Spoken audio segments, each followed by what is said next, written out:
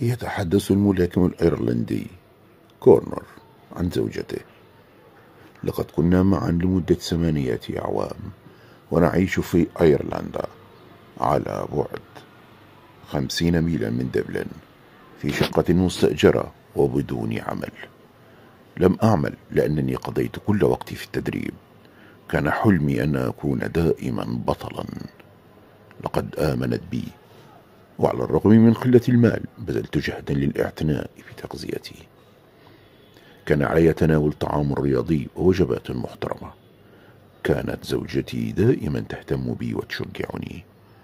عندما كنت أعود إلى المنزل من جلسة تدريب مكثفة منهكا متعبا كانت تقول دائما كورنر أعلم أنك تستطيع القيام بذلك وسوف تنجح. والآن أنا أربح ملايين الدولارات من خلال القتال في مباريات أما جمهور يقترب من سبعين ألف متفرج وأنا الآن أستطيع شراء أي سيارة وأي ملابس وأي منزل ومع ذلك فهي لم تطلب مني شيئا.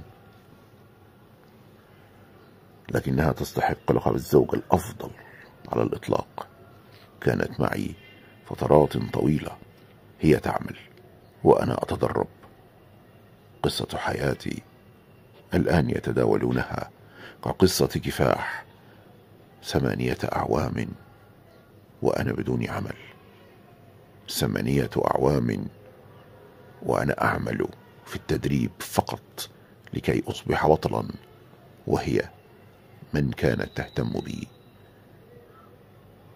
إنها قصة الملاكم الأيرلندي؟ كونور ماكريجور وحديثه عن زوجته التي كانت دائما معه